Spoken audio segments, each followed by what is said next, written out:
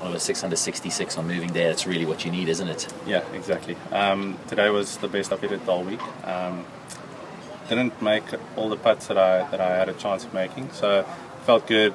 Um, a little bit of a stumble there on the last hole. I thought I maybe could have gotten one one there as well, but yeah, at the end of the day, really really happy about the round.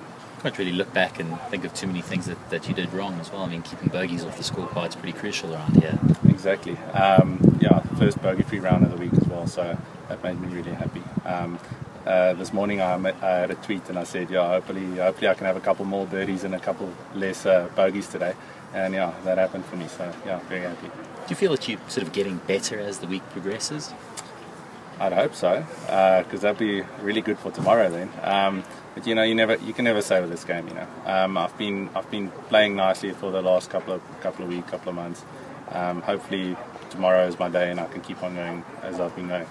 Two ahead at the moment might change a little bit with the guys finishing up, but you know, do you look at tomorrow and, and what could be and what needs to be done tomorrow? Well, I mean, at the end of the day, you still got to go out there and, and, shoot shoot a good round to win. So you can't really be too worried about what's going on right now.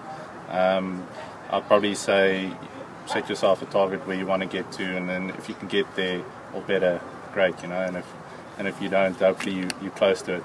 As soon as you start thinking, well, I'm two ahead, just try and stay one ahead or two ahead, and then, then you come become defensive, and then you might make um, mistakes or make uh, don't use all the opportunities that you give yourself.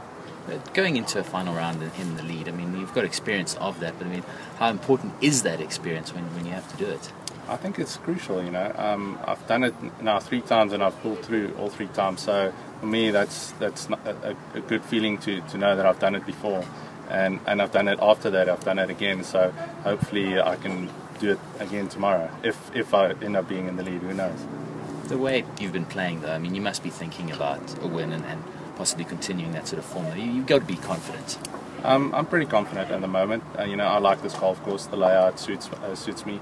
Um, you know, if I can keep on hitting it well, uh, just the, the thing for tomorrow is just to hit fairways and greens. You know, don't put yourself under unnecessary stress. You're already under stress. You know, so just try and, and, and make it as easy as possible out there.